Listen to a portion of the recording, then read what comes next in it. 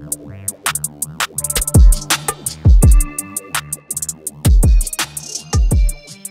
What's up YouTube, it's Hip channel WHY TV and I'm back with another episode. Today we have topic about legendary rapper Eminem and Cole Bennett.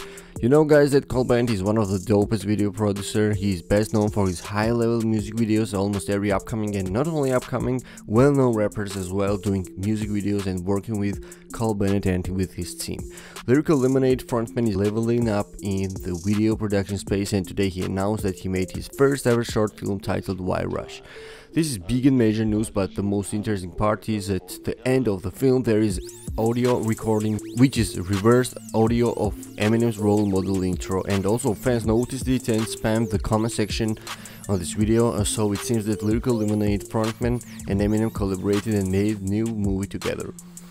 Also, Cole Bennett said in the caption of the film, Watch what happens next. I think it's very interesting statement, we don't really know what will happen next, but as I already said, Eminem and Cole Bennett did something special together. So guys, we have to stay tuned, new Eminem and Cole Bennett project is on the way, so guys, today we have also another topic and our next topic is about legendary rapper Big Pokey who passed away at the age of 45.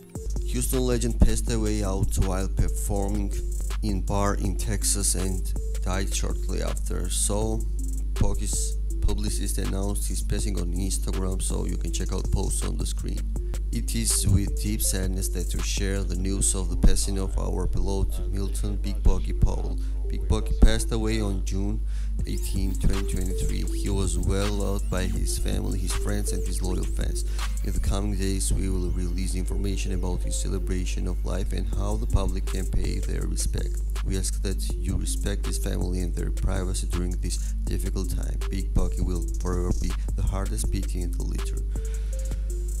So today I want to show you guys rappers' reactions to his passing. So first, mm, I want to show you guys legendary Lil O's reaction. Lil O went to his Instagram page a few minutes ago and shared a heartfelt message. So Lil O says, "There's no Lil O album that doesn't have Big Pokey on it. There's no Big Pokey album that doesn't have Lil O on it. We have always been there for each other, literally since we were Babies. There's no dream I have ever had regarding music that did not include Tina. I'm gonna miss you, brother.